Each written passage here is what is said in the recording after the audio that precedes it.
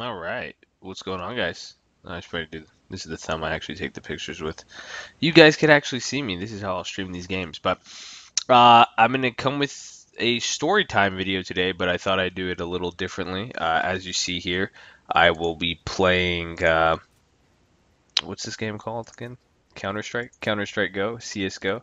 Uh, I do take my video games very seriously, so I might be a little bit more. Um, what's the word I'm looking for? Distracted uh, at times. So I think that'll be. Uh, especially I might have to turn off the. I'll have to turn off the sound in the background here. But anyways, uh, what I'm to talk about, I'll be playing in the background. So for those of you who are gamers, what's up? Uh, I'm using my girlfriend's account. I got to get my account up so you could add me, then we'll play. But glad you guys like it. If not, oh well. I'm still going to talk about something both uh, stock related and something funny. This game better not be bots. Okay. But what I'm going to talk about is how penny stocks ruins people's lives. Uh, and I know I, I don't want to say that so to sound dramatically, but it's actually true. And I'm going to talk about this story of this one guy. I met him online. Um, seemed like a really cool, smart dude. And I'm going to share with you guys his story of how he lost, uh, I was think it was over, cumulatively over $130,000, but there was about $30,000 which really, really killed him that I'm going to talk about.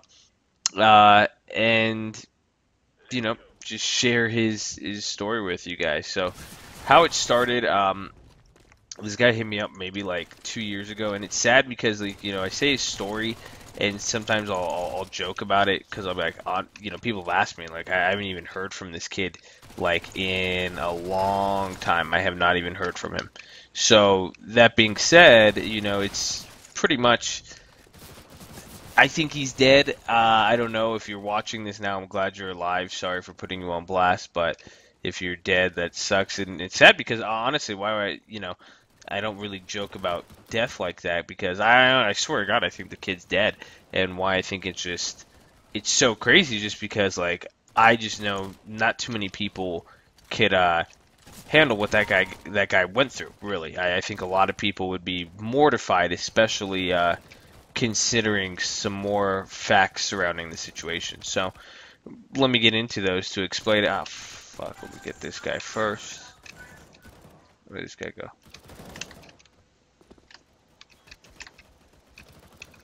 Uh, where'd he go? Man.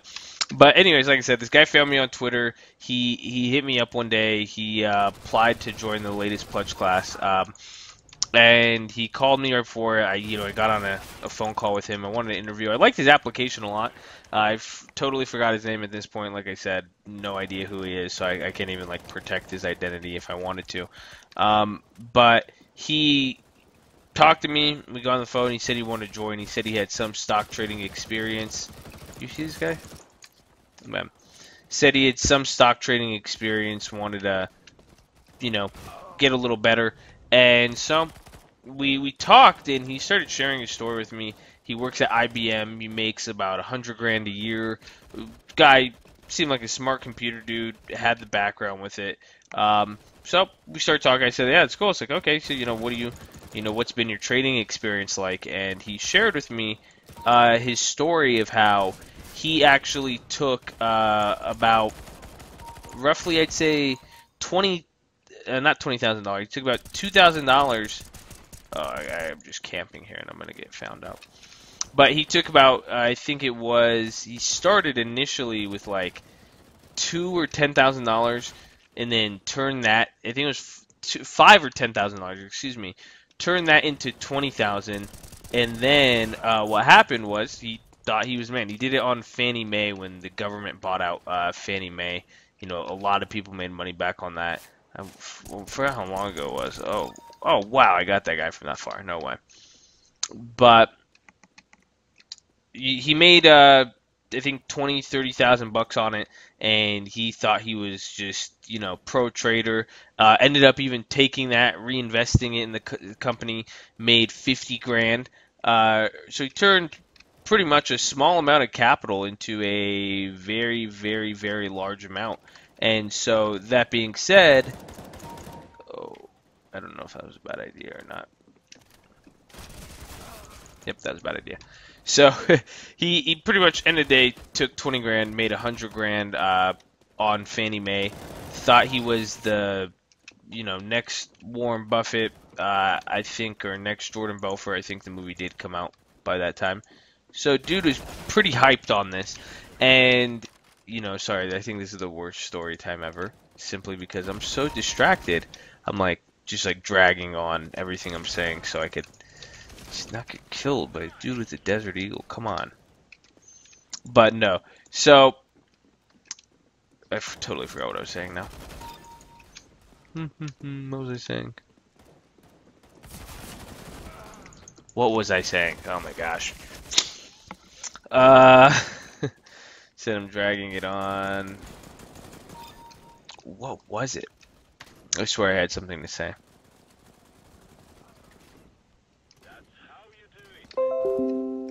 I said this guy thought he's the next uh, Warren Buffett. Um, Jordan Belfort, what is the whole point of what I'm trying to say? Oh, yeah, right.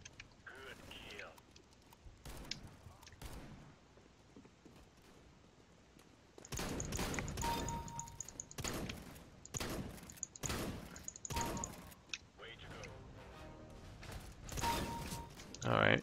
So I'm just wrecking while I'm forgetting. Uh, maybe that's why I like this game. It gives me time to think. Um, but anyways, let me, let me just get back into it. This guy, you know, older individual, um, older individual made money, you know, trading a stock that probably was, you know, risky. It was a penny stock in the beginning, but obviously it made him with a lot of people money. So makes sense why, you know, he, he jumped into penny stock. So this is what happened to make, you know, a short story that I'm totally dragging on. Again, I say that and I'm gonna forget what I'm saying. But to make it quick, what started happening? He thought he was a really good trader. He thought that you know stories like Fannie Mae and what occurred that that was just an everyday appearance or everyday occurrence. You know, he was right place, right time. You know, he wants to keep living this out.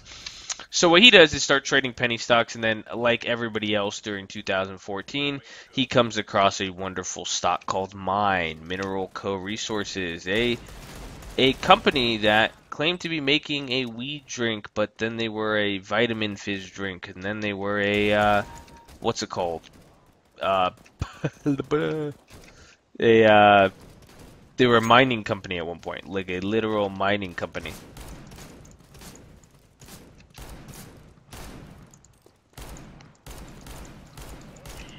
Oh man, uh, I got. Damn it! First place winner got me. So, what happened? So maybe I should pay attention right now. Game's over. So what happened? He goes and he, he decides to play this company. He's in, and this is what he's telling me because I forgot. I remember. I remember. He hit me up. This guy tells me about himself. I'm like, all right, you work at IBM. You have a good job. What do you need me for? Um, and he says he's been struggling and doing real bad. Says he goes, made the hundred grand, put in all of the hundred thousand dollars he made from Fannie Mae. You know, this guy took five grand, turned it into twenty, and then took that twenty, turned it into a hundred, and goes and puts it all on mine.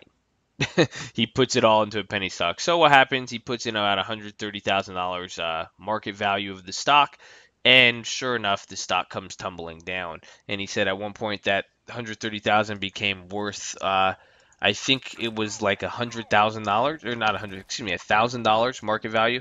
So he bought it for a hundred thousand dollars. Now it's worth uh, hundred thousand dollars. This guy's shitting himself. So what he told me was that you know he knows there's a big catalyst coming up. It was around November. He said November is the time that weed penny stocks rip up, that more legislation comes through. So he said, yeah, you know, I'm just waiting for the November weed catalyst to come up, and then I'm just going to, you know, get my money back that I lost from and sell it, sell it back. So I said, okay, sounds like a bright idea. You know, this guy sounds like he has it all figured out.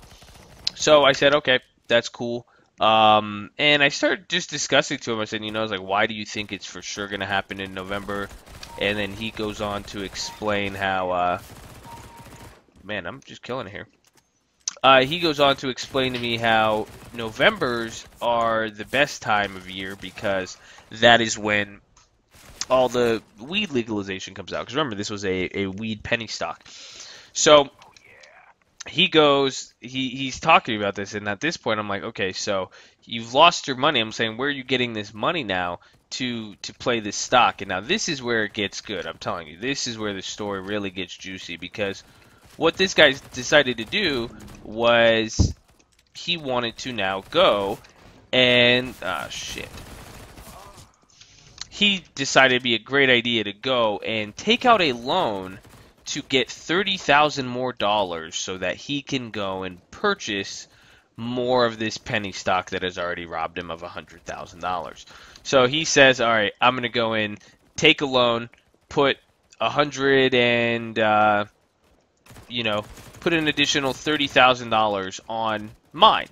And I told him that was a very, very bad idea. He said he already did it, and he said, "Yeah, you know, put in thirty thousand dollars. Wait till the November catalyst comes out. Boom, stock's gonna rip. I'm gonna sell it." So that is the this guy's logic, and you know, and he, he's stuck on this whole November thing. You know, like this guy's not letting the whole November catalyst, everything's gonna run up thing slip away from his hands. He's not about it. I should have had that kill. So he's totally not about it. Uh, it's kind of funny in my opinion, but so why am I? I feel like I'm just playing bots. I'm literally playing all bots. Okay, I'm getting out of this game. And again, this is the slowest story time ever. I feel like I'm just talking like a retard. But anyway, so I go. He's just already about it this November thing, he's made up his mind, and and then we start talking to him. So I explained to him like, listen, man, like you've already lost a lot of money. I told him this. Uh, I said I know. He said he wanted to join the trading fraternity. He said he couldn't afford it because he has to spend 800 bucks a month simply to service this loan that he got to average down on mine. You know, after he lost 130 grand, he went and goes and put in throws in another 30 grand. Uh, but now this is a loan that costs him 700 a month. So I told him, I was like, listen, man, um, I understand. I said, I will give you a full scholarship. You don't have to pay to join. Uh, all I ask is that you cover the loan. I said, simple as that. I said, today, I said, how much did you take the loan out for? He said, 30000 I said, how much can you sell for today? He said, 30000 So I said, wow, you know, this is uh, a, a great time, a great opportunity I said you could literally just go sell out right now. Um, I said you could sell out right now and call it a day. I was like, instead of spending, you could now save 800 bucks a month, and instead of now you paying somebody some loan with nothing to show for it if the stock goes against you, you could now save it, add it to your trading account, keep your money, and that's that damn it. And he said he didn't want to do it because he wanted to, uh, you know, he wanted to cash out and make his money back. He was pretty set on making his hundred thousand dollars back. He was pretty distraught that he lost it in the beginning. So I said, why don't you do this, man? I said, at the very least, you don't need to keep thirty thousand dollars in because if what you're telling me, I said you think it's going to go up, you know, a couple hundred thousand percent, do all that good stuff. Uh, so you know, why do you need to put thirty thousand? I said you could literally go right now, sell 90% of the loan, put it, uh, and literally just go put only 5,000 into it. And, and, and hold 5,000. If it goes up a thousand percent, you're gonna make what 50,000 bucks, half a million dollars, or whatever the fuck it is. So, I told him that, and I said, you know, I said, doesn't that just seem like a more uh, sound idea by you doing that? You could still give an opportunity where you can make 30, 50, 100 grand if it does what you think it's going to do. And then worst case scenario, you just don't lose all your money. So we went over that plan. He didn't really like it. Um, he said no, he wanted to hold it all because he knew he was right and he wanted to make the big bucks. Just like everybody else, you know.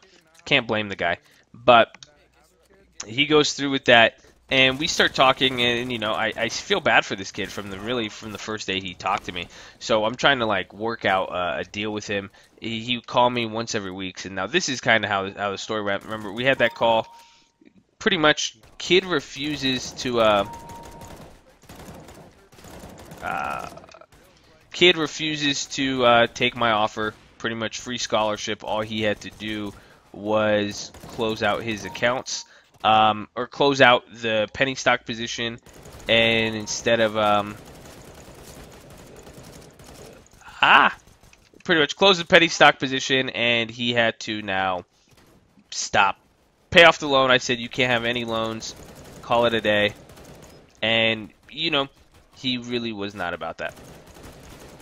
Damn it, man this is really I'm, I'm not gonna lie. I'm much after trying to do this today. Much props to those Call of Duty guys who could do commentary while playing a video game and not sounding like a retard, because that's what I sound like right now.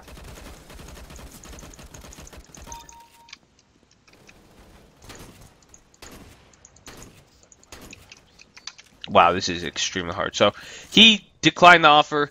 Uh, I said I'll keep up with him. I said, listen, man you know, the smart move here is very, very easy. You just got to sell out of the stock, you know, stop making it difficult.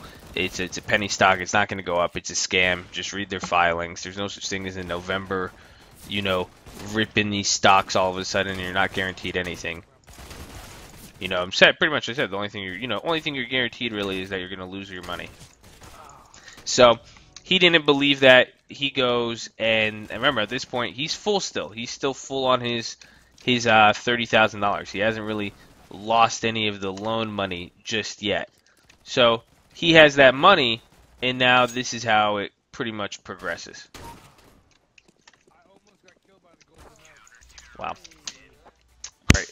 So how it progresses, about a week or two goes by. I think it's like a week and a half, and mine drops about thirty percent.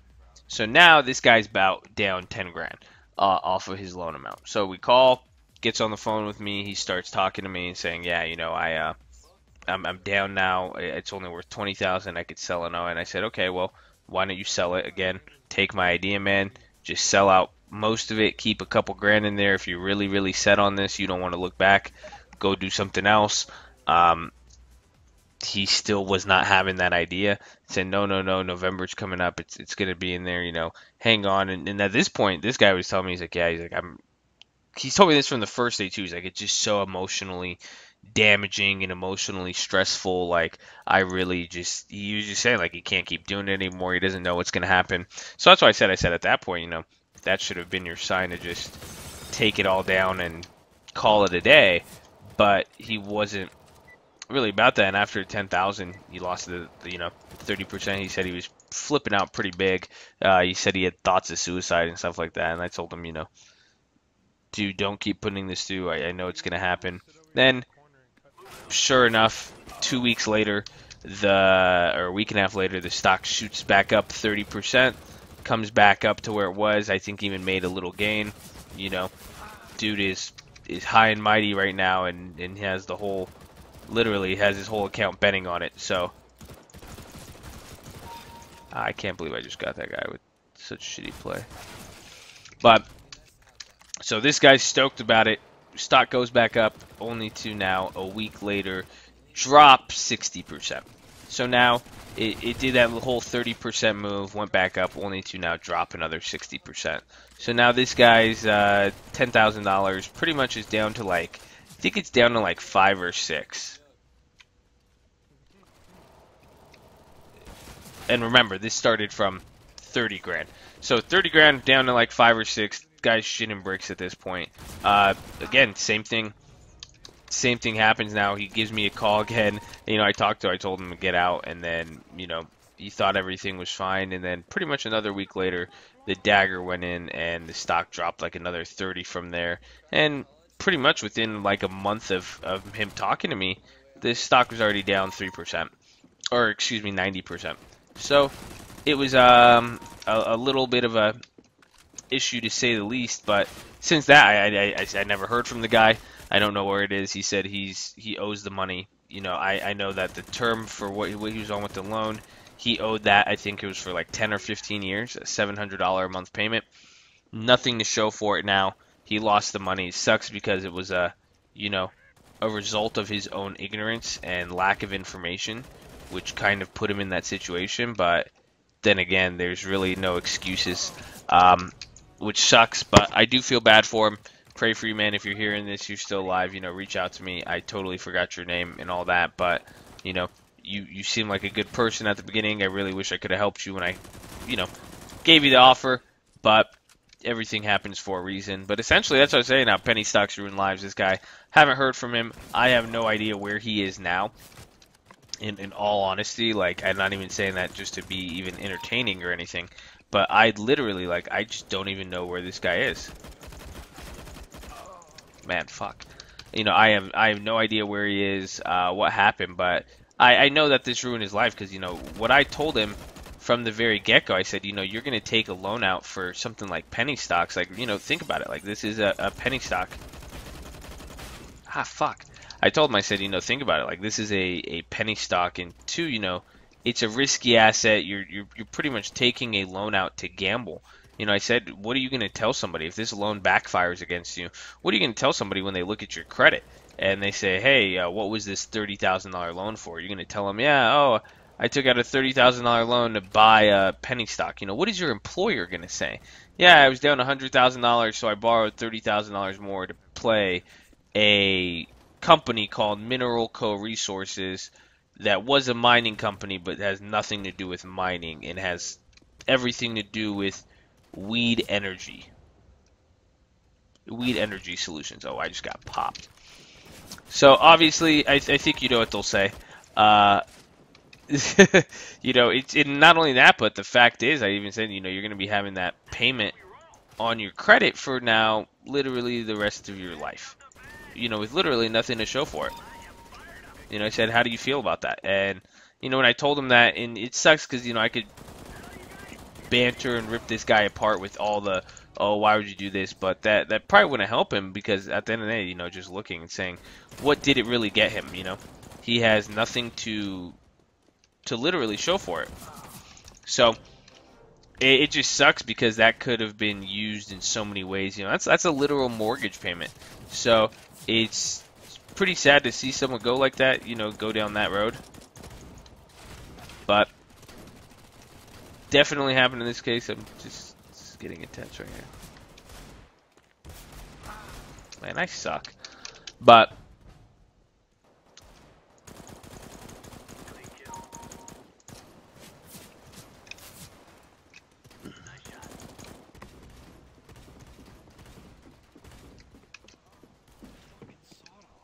Sorry. Uh, anyway, so not to be over dramatic, as you guys can see, I had a real story as of how penny stocks ruin someone's but somebody's life. Um, and just be careful, you know, don't take out loans to do any sort of investment like this.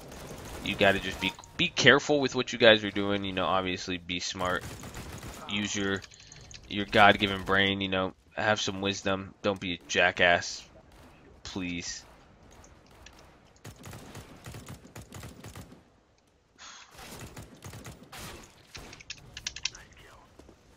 Oh, I don't know if you guys saw that too. I to the bathroom. So that was that. This will probably be a very, very long story time. This is my first video game commentary. I'll leave it at that. That was honestly dog shit awful. I have so much more respect for all of those guys who do the commentary videos. I had no idea it was this difficult. Um, I love you. Uh, I want to finish this game. So it sucks because I finished talking before the game was over. So that might take away from your guys' gameplay quality. Is that what you call it? Yes. Okay, I fucking hate this game. So, I'm getting wrecked right here, but I guess I'll leave it at that for you guys. I love you all. Stay in school. Where's the camera? Boom.